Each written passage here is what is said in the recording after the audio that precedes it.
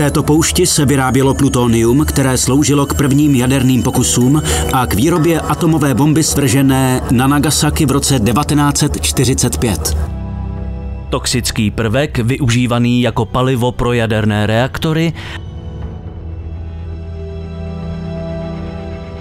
Téhle oblasti se říká kilometr smrti.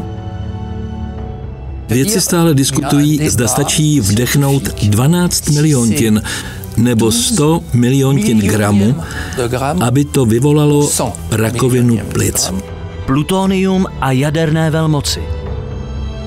V pátek ve 20 hodin na CS History.